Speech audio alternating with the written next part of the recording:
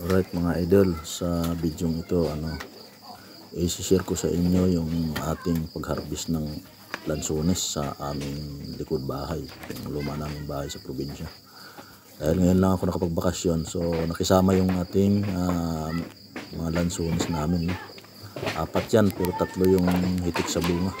So ito, Ah, hindi lang pala lansones no yung nasa likod ng bahay namin sa probinsya no. Marami pa kayong makikita diyan. Yung mga puno gaya ng ah, mga kakao, yan yung mga talim na nanay ko. Okay, Ah, dara mo na sila. Ay magkalalanggi. nasa likod na tayo. At uh, nadatnan nga natin dito ah, yung uh, inutusan ng aking nanay na manguha ng lansones. So ngayon, ah, sasabay tayo.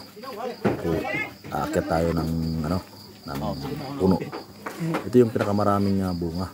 So, akyatin natin. Makiki harvest tayo. Dahil masarap kumain sa taas niyan. Dati pa namin ginagawa yan tuwing namumunga itong lansones namin. Okay, let's go.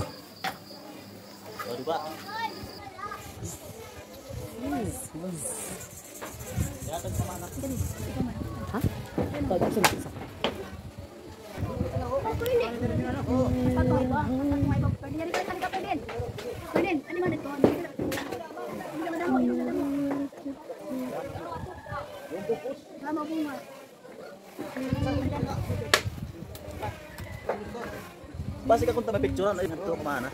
Asag din nato kami sa video. Kare. Kay pamimidyan ko sa nga nag sinarag ka. Harvest. Ayun ho, mga Harvest kami lang lansones ang libot. Ano? ah. Uy, hindi. Ayaw pa nga dito kay Ninong. May na Ninong sa Bugos sa barangay.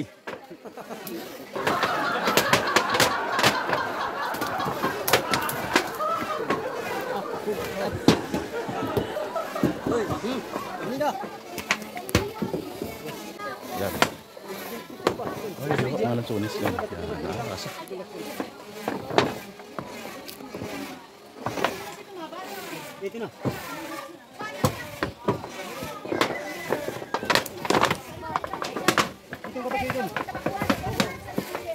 Hah? Kede. Kayak mau gitu. Kede Agner. Kalau ada kanila. Ako ang mabal. Wala mabatan dito. Harbes.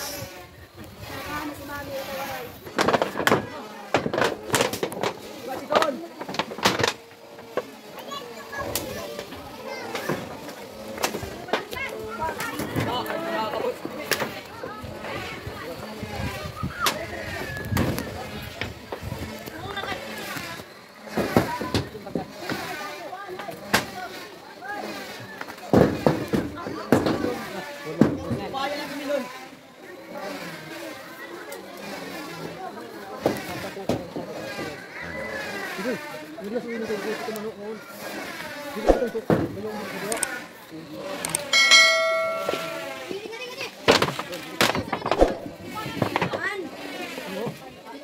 Harvest. So mga idol, hanggang dito na lang yung ating video. No?